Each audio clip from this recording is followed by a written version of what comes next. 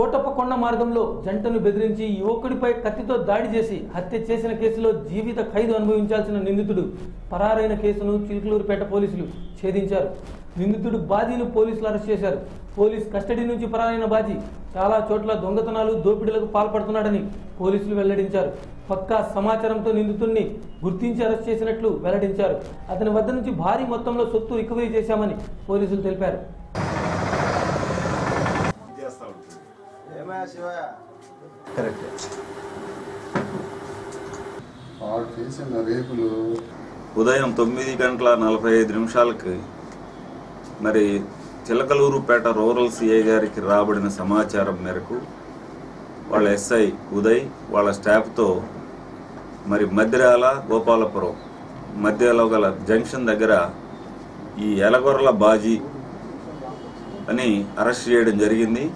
Arrest చేసిన తర్వాత విచారించగా వీడు నాదండ్ల పిఎస్ నుంచి కోర్టులో ప్రొడ్యూస్ చేసి మరి AR escort Guntur escort Rajahmundry తీసుకెళ్ళే సమయంలో అక్కడ ఆరో తారీఖున తప్పించుకోవడం జరిగింది ఫిబ్రవరిలో.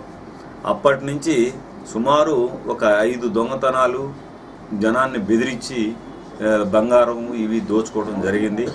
మీకు తెలుసు మరి ఇరవై ఆరు రెండున ఫిబ్రవరిలో మరి సంజీవ్ కొండ వద్ద ఒక కుటుంబ సభ్యులు వెళ్తూ ఉంటే కత్తితో బెదిరించి వాళ్ళ దగ్గర ఒక తొమ్మిది సెవర్లు బంగారం దోచుకోవడం జరిగింది.